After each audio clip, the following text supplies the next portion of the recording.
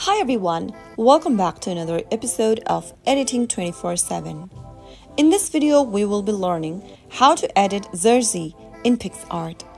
Editing a Jersey in PicsArt can involve various tasks such as changing colors, adding logos, or modifying text. So here is how you can do it. First of all, open up your PicsArt application on your mobile device and then Tap on the plus see all button at the top left. Choose an image of a jersey from your camera roll or other stock image sources. After you import the image, go ahead and tap on the tools option at the bottom. Click on selection from the pop-up. Tap on the select option at the bottom and click on clothes. Now the cloth from the image will be highlighted.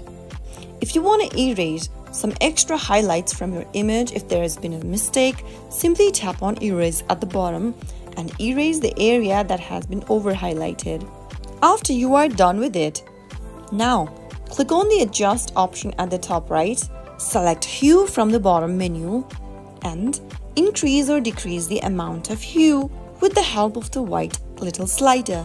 After you do that, you will be able to see that the color of the jersey has now been changed. Adjust the sliders to get the desired color and finally when done tap on apply at the top right hand corner. If you want to remove existing logos or text from the jersey, you can go ahead and tap on the tools menu. But before that, let's save these changes by tapping apply at the top right. Now go to tools from the first menu and then click on clone. After selecting clone, Choose the area of the jersey that matches the background by simply tapping on it and brush over the logo or the text that you want to remove. If you make any mistakes, you can use the eraser tool at the bottom and then erase your mistake just like that. That is how you will be able to change your jersey's color using PicsArt. Finally, tap on apply at the top right and then tap on next at the top right.